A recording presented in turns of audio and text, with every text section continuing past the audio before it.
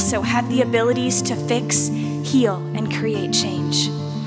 The sooner we realize this is our problem to fix, that if I didn't take a stand, humanity would be headed downhill. So I took this opportunity, and here I am, trying to convince you to help me take a stand and raise awareness about world peace.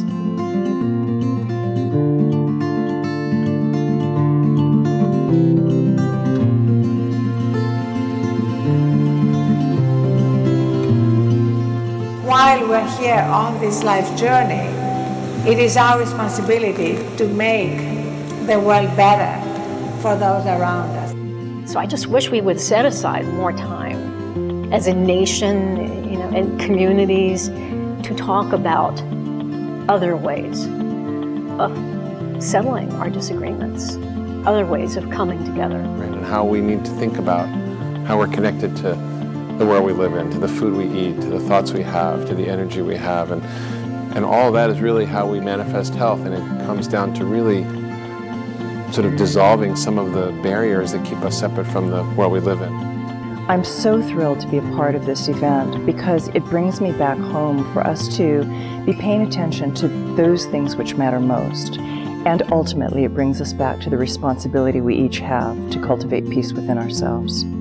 Right now, human intelligence is working against human beings. It has to work for us means we have to create a stable platform.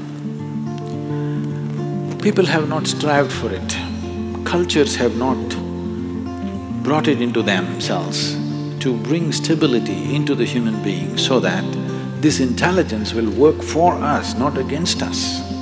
Right now, when we talk about stress, when we talk about anger, when we talk about various other forms of violence, which happen continuously in human being, uh, within a human being and once in a way bursts out on the street. It doesn't burst out every day, but it's happening every day in a whole lot of human beings.